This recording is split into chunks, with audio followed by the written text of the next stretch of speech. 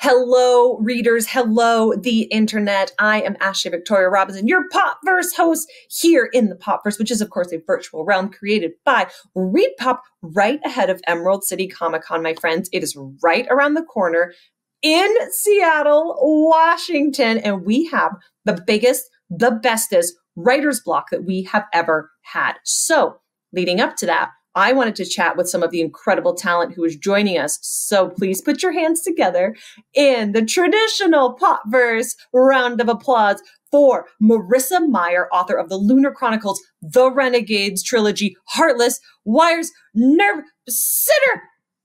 Please join me in welcoming Marissa Meyer. Hi, Marissa. How are you doing today? I am fantastic. How are you doing today? So excited to be here. So excited for Emerald City Comic Con, which we're going to chat about. So, I mean, first and foremost, let me ask what do you love most about conventions? Oh, people watching and seeing the cosplay. Ooh.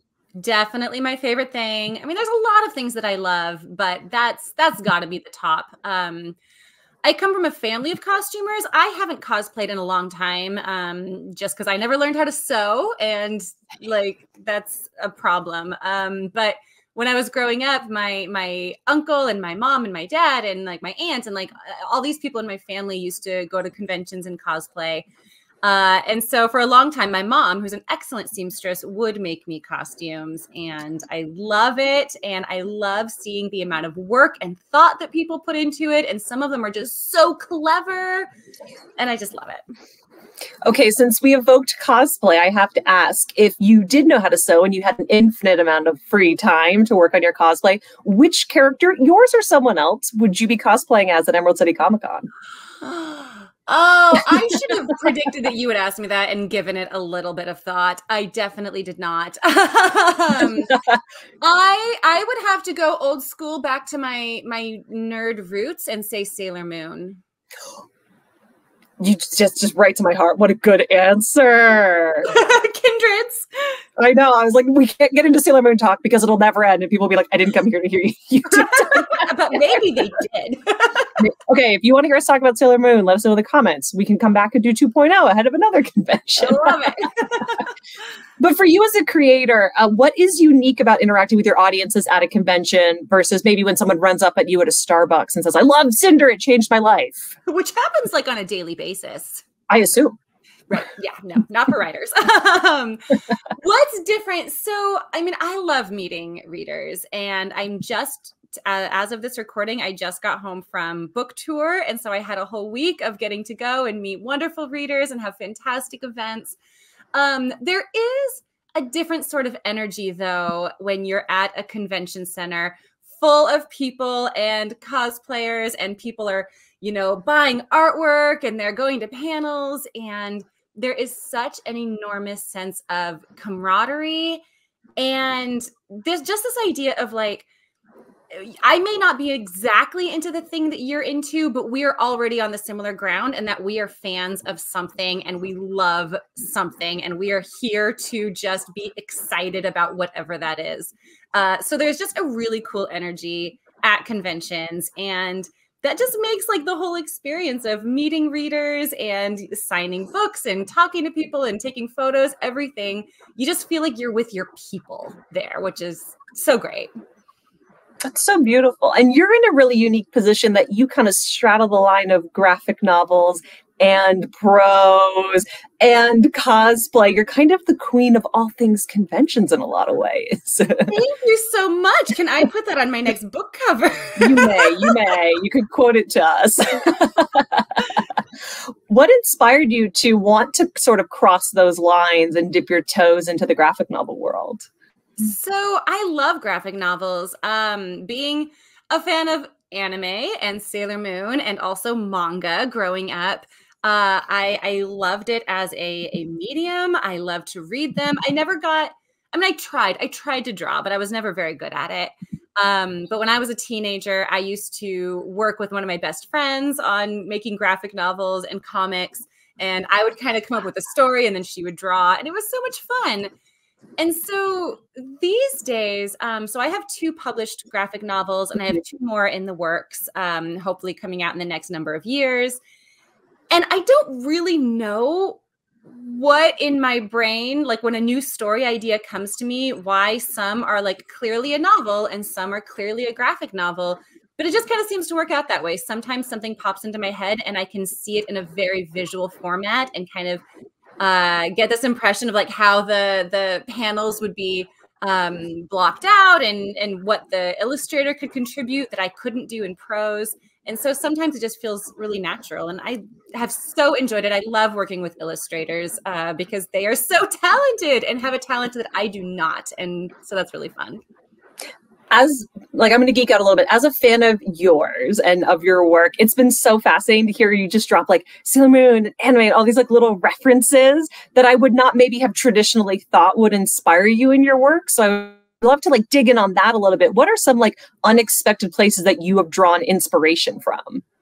Oh, uh I don't know how unexpected it is um, because people who like have known me and heard me speak, I, I don't know. Uh, but definitely Sailor Moon is a huge mm-hmm. influence. Um, for my first series, The Lunar Chronicles, um, Firefly was a big one. Um, Star Wars was a big one. Um, Cowboy Bebop, uh, going back to the anime world. Yes. ensemble cast was huge.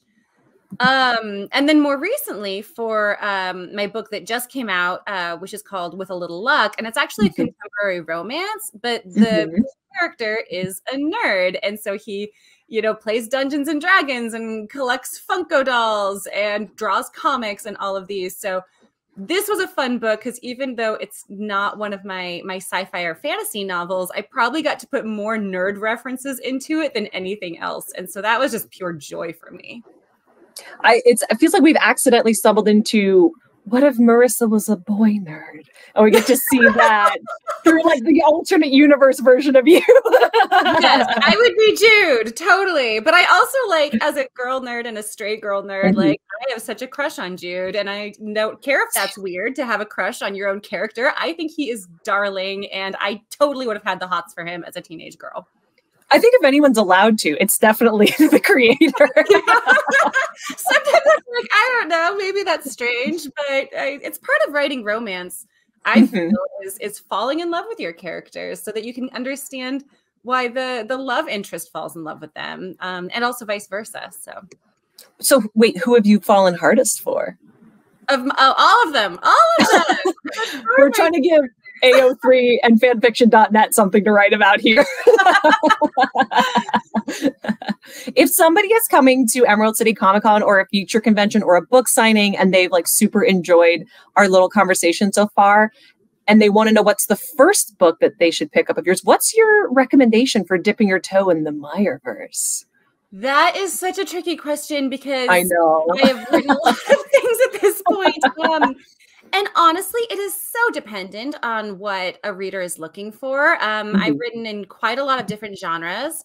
Um, so if you're there for contemporary, I'd start with Instant Karma. If you want sci-fi, I'd go with uh, Cinder. If you want more fantasy based, you can pick up either Gilded or Heartless.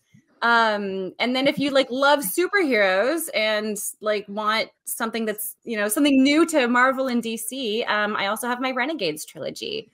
So that was a non answer to that question, but it really does depend on what somebody's looking for.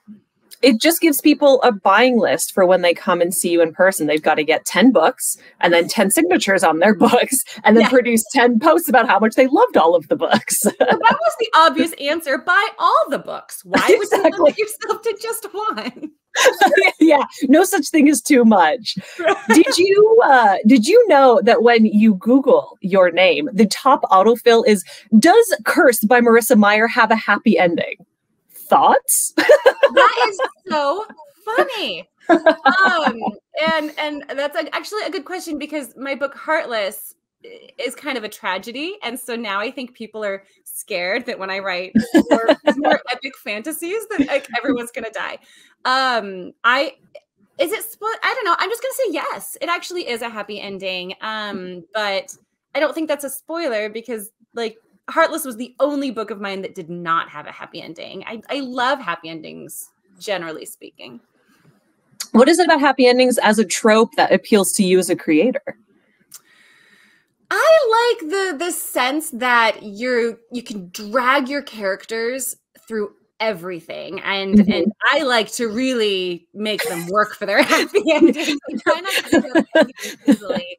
Um and so then by the time and I, I want there to be multiple points throughout a story where the readers feel like it's impossible. There's no way out of this. There's no way that they're gonna survive or they're gonna um, you know, manage to to fall in love or they're gonna overcome the antagonist, like whatever it is. I want readers to really feel the suspense of like how can we possibly make it through this, so that when we get there, it feels so rewarding and like like it really had to be earned.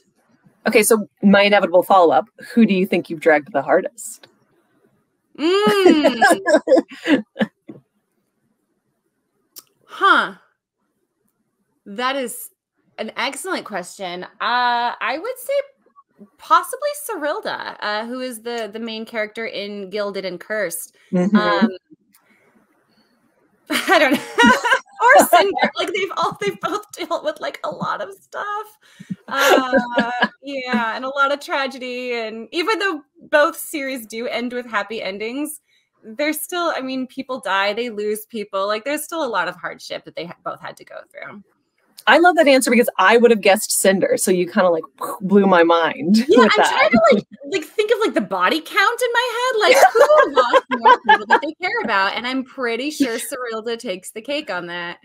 I I really want um, a BookToker or some maybe I'll do this where someone reads one of the books and there's just the counter of all the bodies as they drop.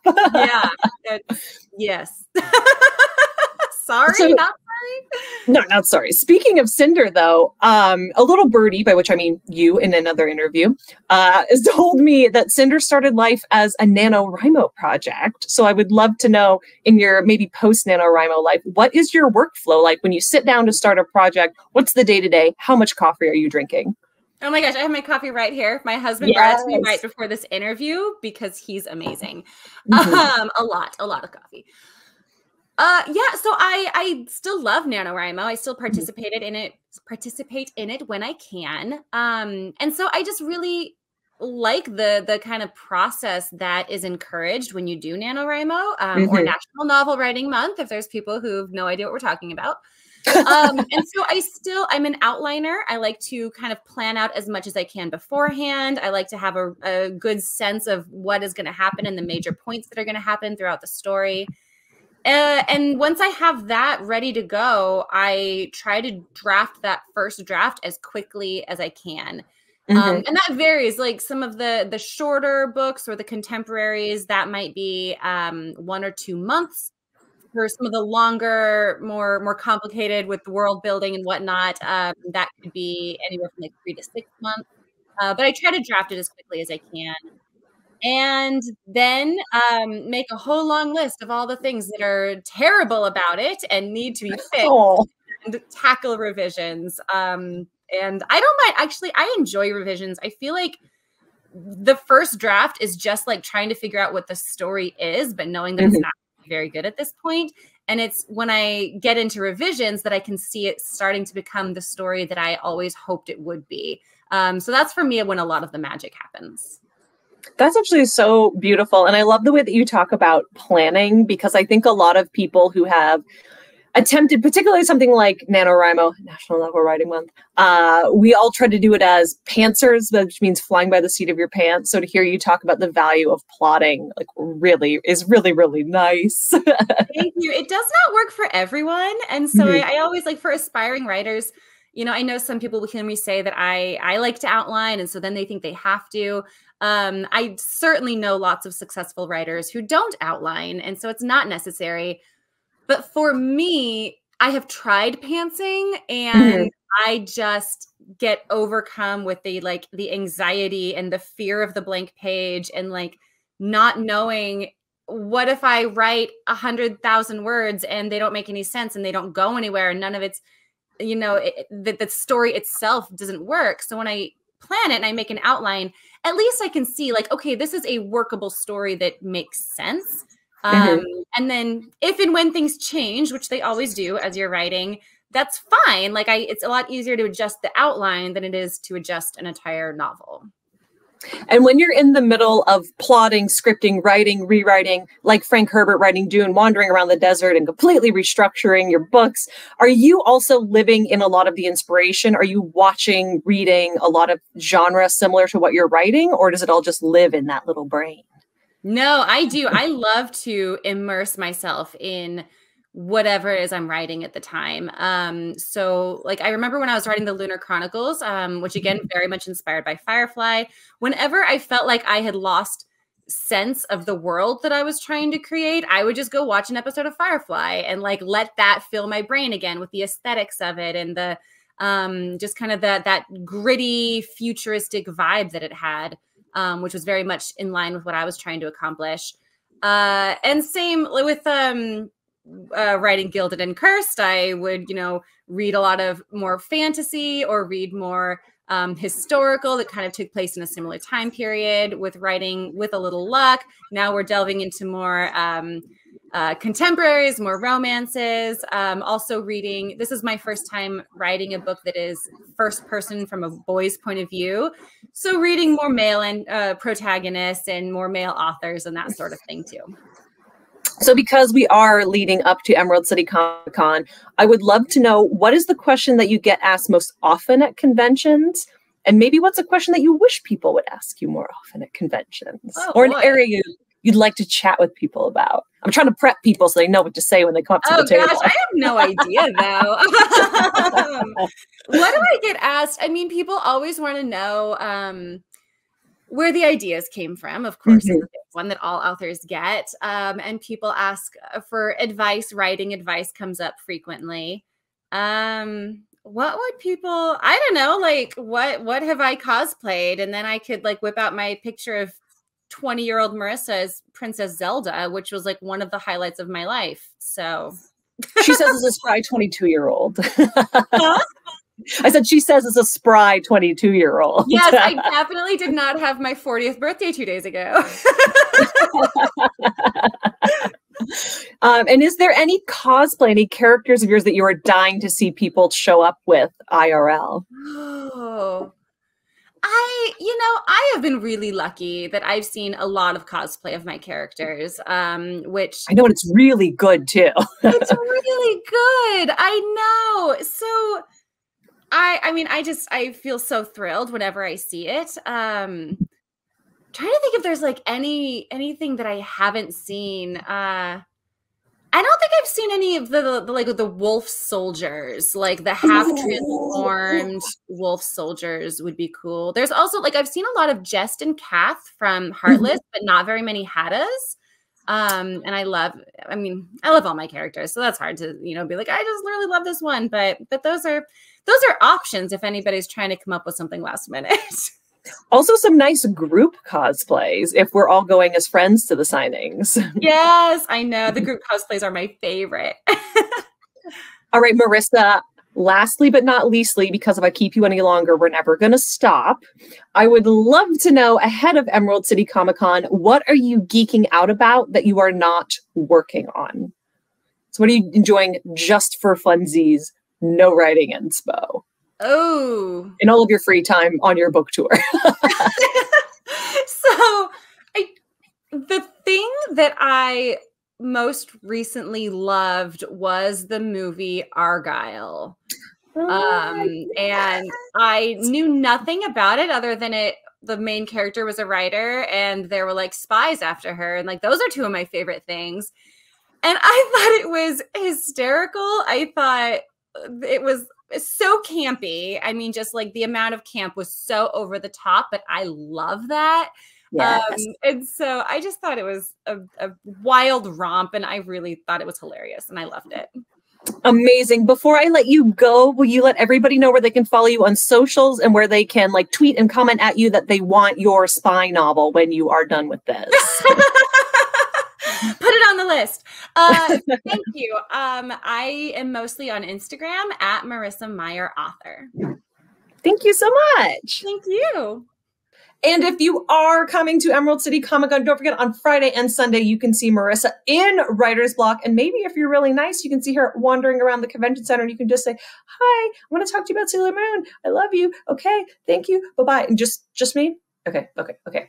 Writer's Block is bigger and badder than ever this year, and I am super, super hyped about it. I'm so glad that we got to give you just a tease of some of the incredible talent that is coming.